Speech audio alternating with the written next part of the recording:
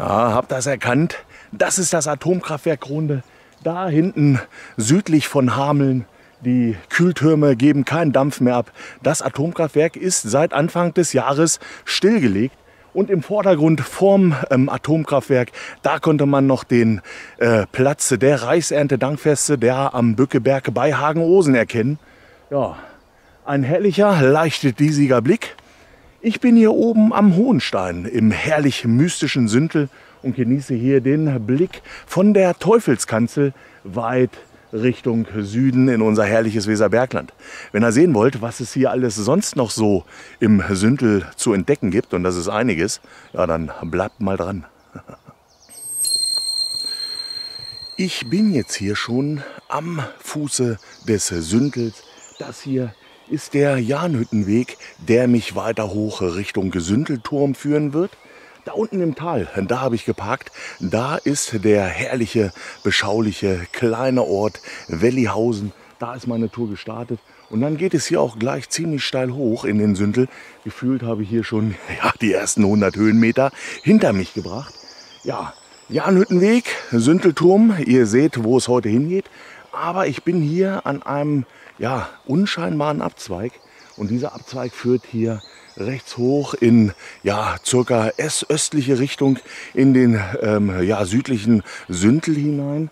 Und dieser Abzweig, der hat es leider ganz schön in sich, denn ja, dort oben haben wir die ja, Relikte einer ja wirklich unsäglichen Zeit hier in Deutschland, nämlich des Nationalsozialismus.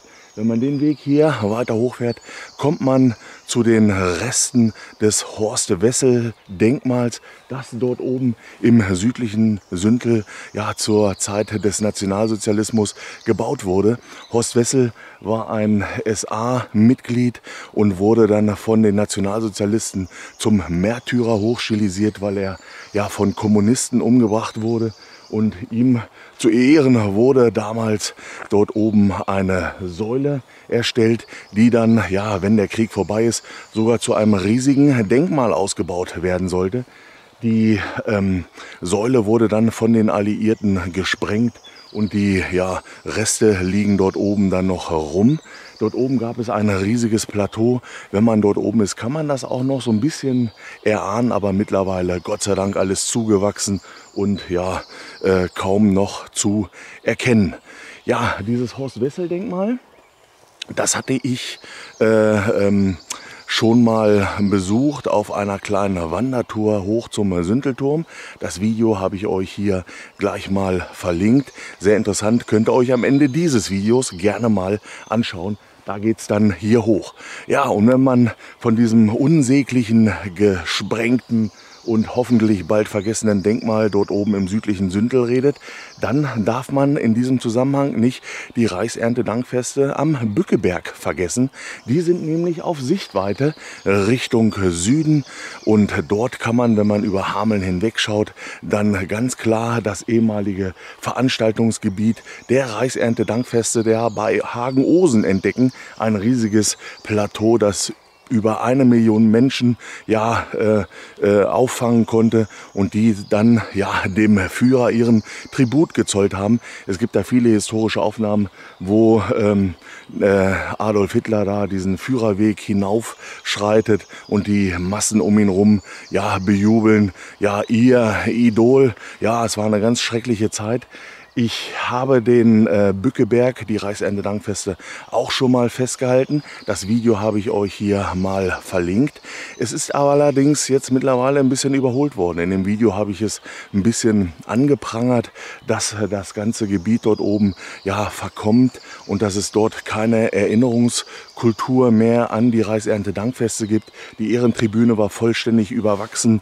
Es war alles vermüllt und ja, nichts sollte mehr an diesen Ort dabei Hagen-Osen erinnern. Das hat sich jetzt geändert. Dort oben gibt es eine ähm, Dokumentationsstätte, die dem äh, geneigten Besucher nochmal zeigt, was dort oben auf diesem Gelände so alles ja, abgelaufen ist. Und deswegen ja, mittlerweile ist auch der Bückeberg bei Hagenosen, wo die Reichsernte-Dankfeste stattgefunden haben, ein sehr lehrreicher und interessanter Ort geworden. Also, das Denkmal hier auf Sichtweite Richtung Hameln, Richtung Gebückeberg. Der ähm, Planer äh, dieses Denkmals hat sich gesagt, wenn dann ja in Nach Nachkriegszeiten die äh, Reichsernte-Dankfeste dort in Hagen-Osen wieder stattfinden, dann kann man auf Sichtweite ja Horst Wessel grüßen sehen und ja, dieser Traum ist ja dann Gott sei Dank zerplatzt. Ja, das hier gleich wieder eine ja, bombastische Einleitung, denn ja, ehrlich gesagt bin ich ja 300 Meter weit gekommen und habe hier mit meinem Radl gleich eine Pause eingelegt. Deswegen, jetzt geht es erstmal weiter hier den Jahnhüttenweg immer weiter hoch Richtung Hohe Egge. Denn dort oben auf der Hohen Egge, das sind ungefähr 440 Meter über Normalnull, da haben wir den Sündelturm. Und ja, den will ich jetzt erstmal als erstes Ziel hier auf meiner rund 25 Kilometer langen Sündeltour besuchen. Auf geht's, die Höhenmeter warten.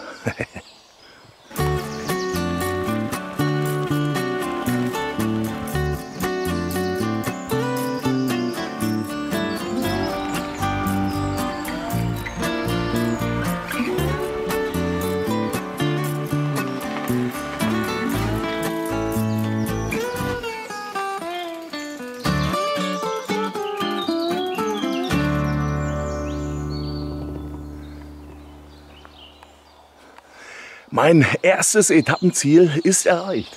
Der Süntelturm hier im Süntel auf der höchsten Erhebung der Hohen Egge mit 440 Metern.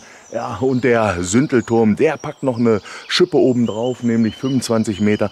Und dann könnt ihr euch vorstellen, da oben auf der Aussichtsplattform, da wo die Amateurfunkanlage thront, da hat man einen herrlichen Blick über das umliegende Bergland hier in unserer herrlichen Region.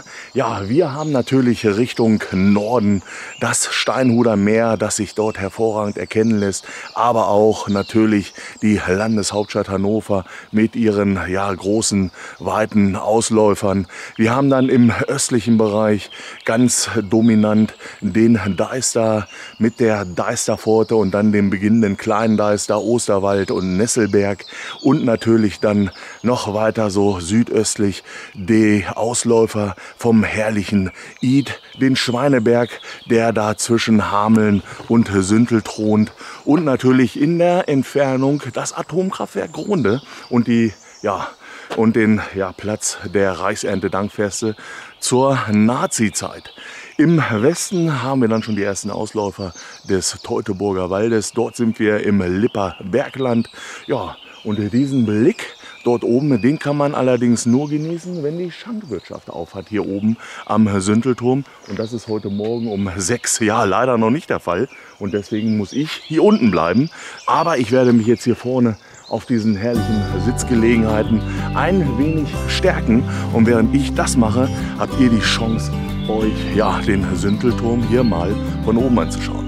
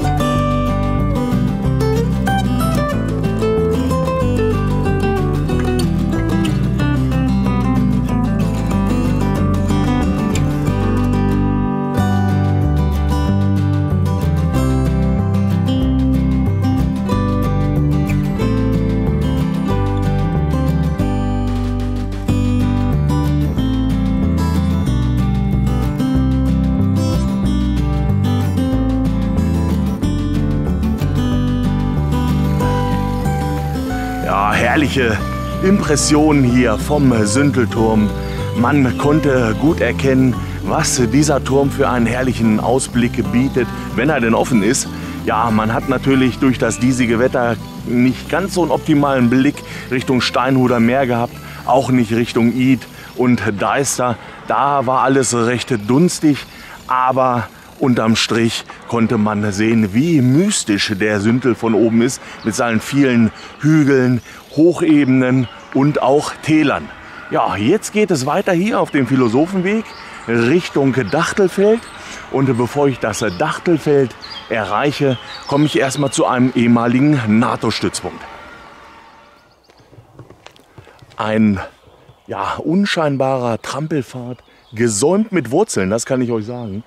Und dieser Pfad hier, der heißt NATO-Trail, denn dieser Pfad führt direkt zur alten Radaranlage der NATO. Hier könnt ihr schön den alten Radarturm erkennen, der natürlich heute nicht mehr von der NATO äh, genutzt wird, sondern hier ja nur noch ein paar Mobilfunksender äh, aufweisen kann. Und ansonsten ist dieses Gebiet hier ja natürlich noch eingezäunt, aber großflächig jetzt freigegeben worden. Man sieht hier noch alte Panzerstraßen, die hier den Weg entlang führen. Aber ansonsten ist dieses Gebiet hier oben aufgegeben worden.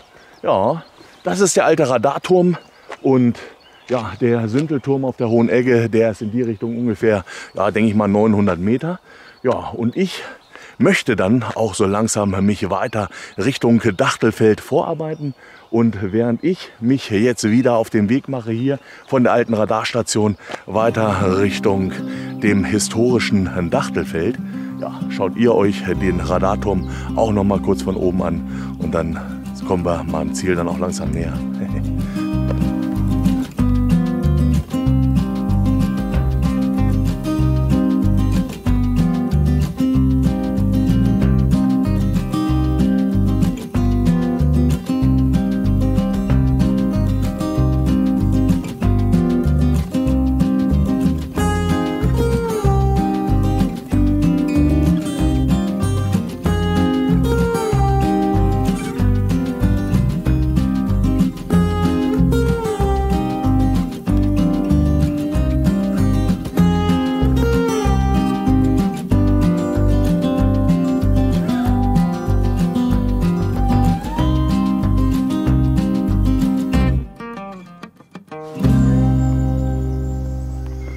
1962 sind hier bei extrem nebeligen Bedingungen zwei belgische Piloten äh, verunglückt, da sie sich mit der Höhe des Sündels verschätzt haben. Die Flugzeuge zerschellten hier an der Hohen Egge, die ja mit 440 Metern doch um einiges die anderen Hügel hier im Sündel überragt. Wir sind unterhalb der Radaranlage, die befindet sich dort ungefähr. Und ja, hier sind dann vor genau 60 Jahren zwei belgische Piloten verunglückt. Im Hintergrund kann man sehen, Deister, aber auch hier der Sündel sind geprägt von frei liegenden Felsbrocken mittlerer und größerer Art und Güte.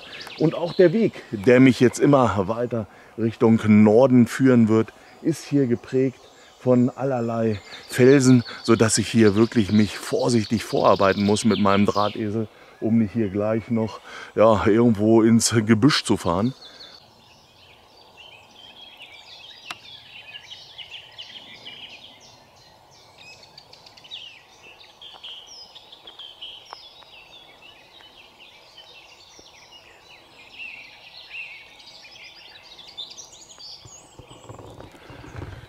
eine der vielen, vielen Weggabelungen hier im Sündel.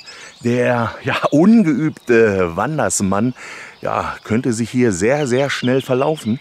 Aber nicht der Sprüdi. Der Sprüdi ist genau da angekommen, wo er hin wollte. Nämlich hier oben auf dem Dachtelfeld. Hier haben wir eine ja, riesige Hochebene im Sündel.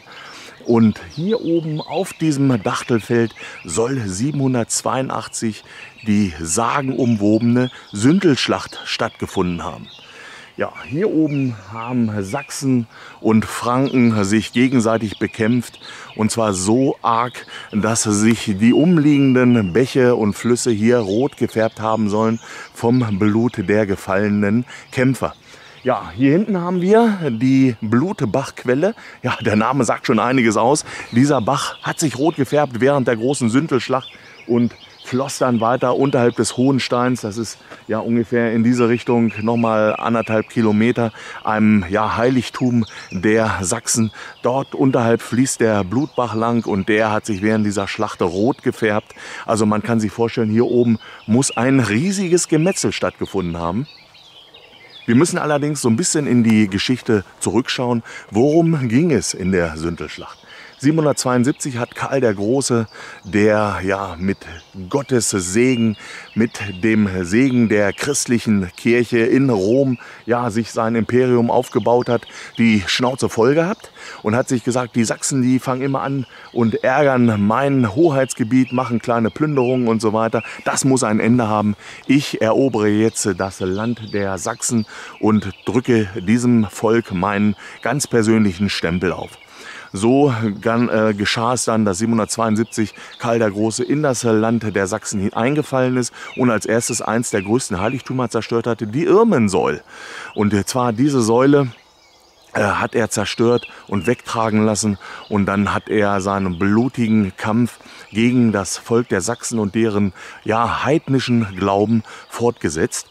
Das Heer der Franken war dem ja, sächsischen zerstückelten Heer ja, weit überlegen.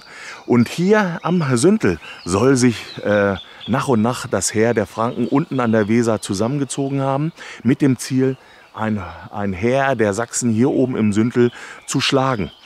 Irgendwie ist es gekommen, dass das äh, Heer der Franken etwas unkoordiniert hier in den Sündel vorgedrungen ist. Und ihr könnt euch vorstellen, die Sachsen, die leben hier oben, die kennen hier jeden Stein und jeden Baum und die wissen die Geländevorteile hier sehr gut zu nutzen. Und so kam es, dass das etwas unkoordiniert vordringende Heer der Franken hier oben von den Sachsen ja vernichtend geschlagen wurde. Und das, obwohl das Heer der Franken eigentlich ja weitaus kräftemäßig überlegen war.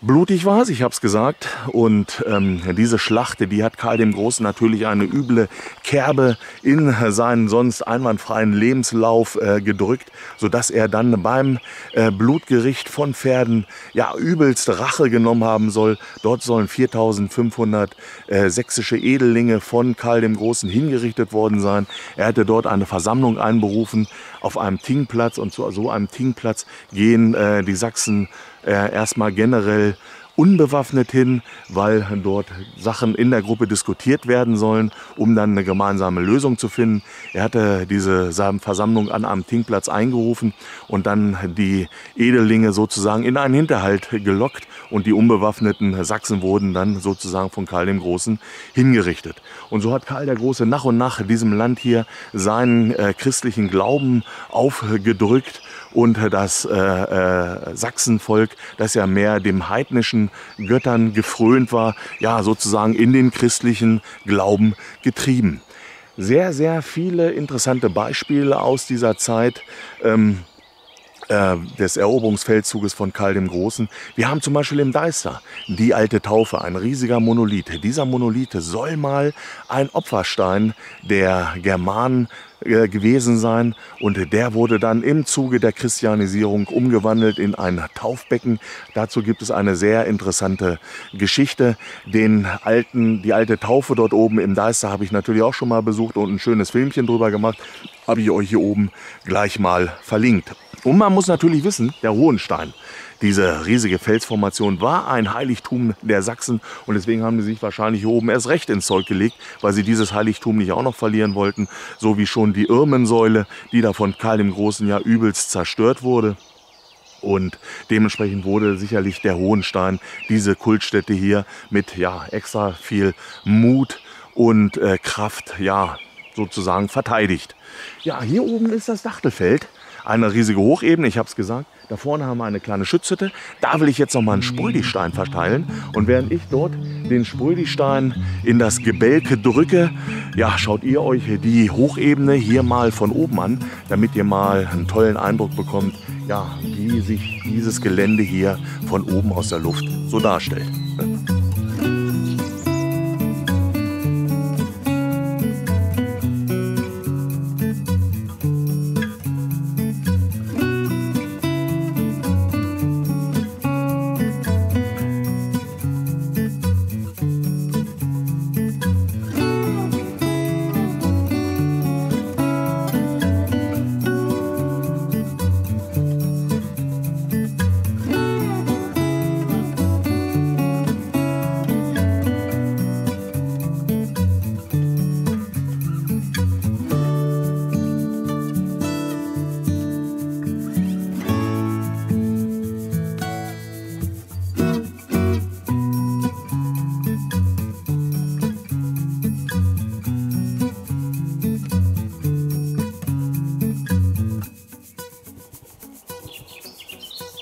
Direkt hier am Dachtelfeld eine schöne sechseckige Schutzhütte. Ich meine, die Hütte heißt hier Dachtelfeldhütte. Bin mir aber nicht ganz sicher. Wenn nicht, habe ich es nochmal korrekterweise hier im Video eingeblendet. Ja, und an dieser schönen Schutzhütte möchte ich jetzt hier wieder einen meiner Sprödi-Steine auf Reisen schicken, in der Hoffnung, dass ihn jemand findet und dann weiter in die weite Welt hinausschickt.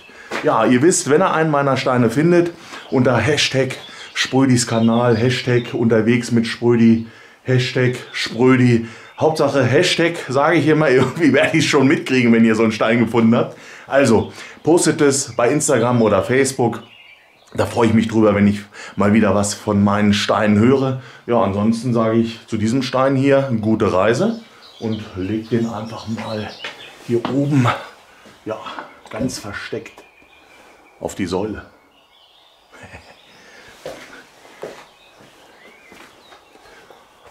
Zum Dachtelfeld habe ich viel erzählt, ihr habt es mitbekommen und das dazugehörige kultische Areal am Hohenstein. Das schauen wir uns jetzt an.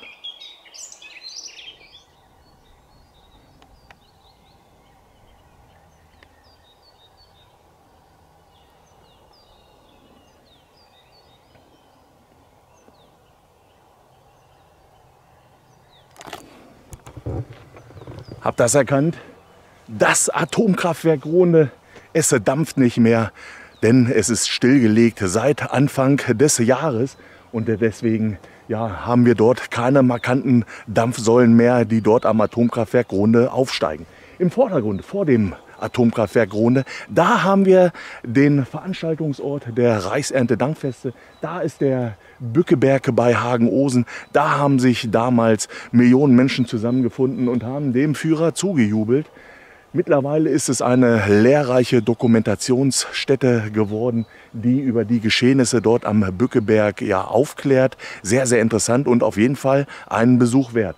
Ja, ein herrlicher Blick Richtung Süden. Hameln liegt dort hinter dem Schweineberg und ja, ganz da hinten, ich habe es ja gesagt, da geht es dann weiter Richtung Nordrhein-Westfalen. Aber so weit müssen wir gar nicht gehen, denn da drüben haben wir ja schon die Ausläufer des Teutoburger Waldes. Da drüben beginnt Nordrhein-Westfalen und von hier oben hat man einen herrlichen Blick Richtung Westen, Richtung Teutoburger Wald. Hier auf dieser Seite, da haben wir den Hirschsprung. Diese Fels, dieser Felsbereich ist mittlerweile weiträumig abgesperrt, denn dieser Bereich ist sehr bröselig und immer wieder lösen sich dort ja, Felsteile und stürzen hinab. Deswegen kann man auf den Hirschsprung nicht mehr draufgehen. Aber einst soll dort oben ein weißer Hirsch einem Jägersmann erschienen sein. Ja, hier im Hintergrund haben wir diverse Hügel und einer davon, ich bin mir jetzt nicht sicher, welcher er es ist und ich glaube, wir können ihn gar nicht sehen. Das ist der Amelungsberg mit der großen Amelungsburg, der alten Wallanlage aus sächsischer Zeit. Und von dort geht man aus, dass das Heer der Sachsen hier in den Krieg gegen die Franken gezogen ist. Ja, sehr, sehr interessant. Hier oben bin ich auf der Teufelskanzel, ein Name, der wahrscheinlich daher herrührt, dass ähm, ja, nach der Christianisierung dieser Bereich hier verteufelt wurde von der christlichen Kirche und die heidnischen Sachsen sollten hier oben nicht mehr zu ihrer alten Kultstätte zurückkehren. Deswegen hat man diesen Bereich hier oben Teufelskanzel genannt und diesen Bereich sozusagen damit auch verteufelt. Ja, ein herrlicher Blick hier oben in das Sündeltal. Und ja, wir gehen jetzt hier noch mal ein Stück runter. Hier vorne haben wir gleich die Niedersachsenwand und dann da hinten am Ende hier der Felsformation den grünen Altar, wo dann ja nachweislich Kultur, äh, Kult, kultische Handlungen ja stattgefunden haben. Ja, sehr schön. Im Hintergrund da oben, da kann man noch mal diesen Radarturm erkennen. Da war ich vorhin. Da oben ist die hohe Egge, man kann es sehen. Wesentlich höher hier als der Hohenstein. Wir sind hier nur auf 340 Meter über Normalnull. Und da oben haben wir ja fast ja, 100 Meter mehr an Höhe. Und da oben steht der Radarturm und der Sündelturm. Der ist da hinten auf dem äh, Bereich. Ich habe es im Video mal markiert. Da oben müsste dann der Sündelturm sein. Ja, und wir sind jetzt hier, wie gesagt, am ja, Highlight meiner Tour hier durch den Sündel, am, an den Felsen vom mystischen Hohenstein.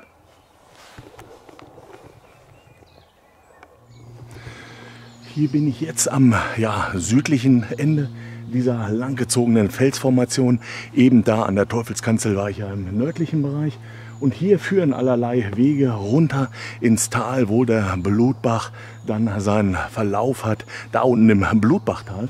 Ja, und der südliche, das südliche Ende hier vom Hohenstein ist geprägt hier vom grünen Altar. Hier führt sogar eine Treppe hoch, hoch oben auf den Felsen. Ja, und da wollen wir mal hinschauen. Oh, herrlich, auch hier oben vom grünen Altar ein toller Blick Richtung Süden und Richtung Westen. Also quasi genau wie an der Teufelskanzel, nur ein bisschen weiter südlich gelegen. Wir haben hier oben ein herrliches Schutzgeländer, sodass es hier zu keinen waghalsigen Kraxeleien kommen muss und die Besucher sich hier ja fest an dem Geländer halten können und nicht in die Tiefe stürzen. Denn immerhin geht es hier doch ja 40, 50 Meter in die Tiefe. Man vermutet, dass hier oben Opfergaben zu Ehren von Osteria äh, gemacht wurden. Das ist die Göttin des Frühlings, wenn das Leben, wenn das Grüne wieder ja, aus den Bäumen kommt und die Natur wieder anfängt zu leben. Und deswegen ja, heißt das hier Ganze auch der grüne Altar. Ja. Das hier vom Hohenstein und jetzt geht es wieder zurück Richtung Ausgangspunkt, Richtung Bellihausen und unterwegs gibt es vielleicht noch mal das ein oder andere zu bestaunen.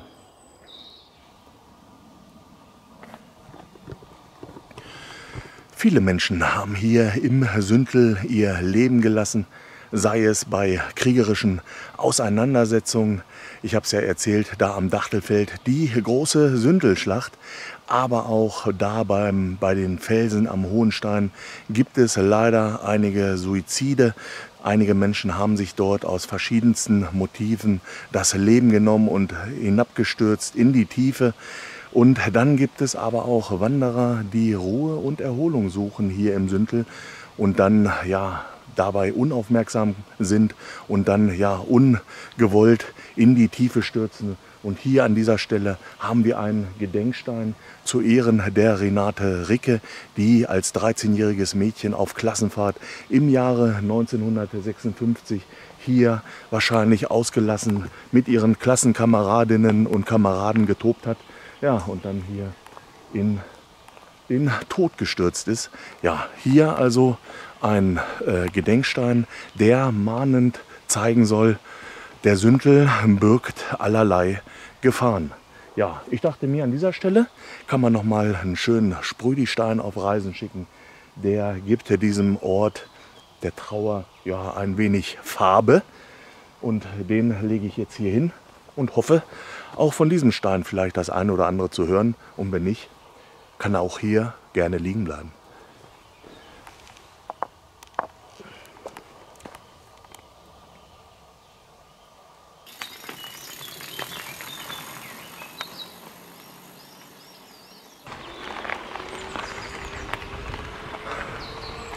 Ja, ihr habt's gesehen. Der Sündel hat einiges zu bieten. Von daher ein ja, herrliches Ausflugsziel hier im Weserbergland. Also auf jeden Fall ein Besuch wert. Ja, viele äh, tolle Highlights konnte ich euch hier in dem Video präsentieren. Das ist natürlich längst nicht alles. Der Sündel hat einiges mehr zu bieten. Ich hatte es ja schon mal erwähnt, die Amelungsburg auf dem Amelungsberg, diese alte Wallanlage.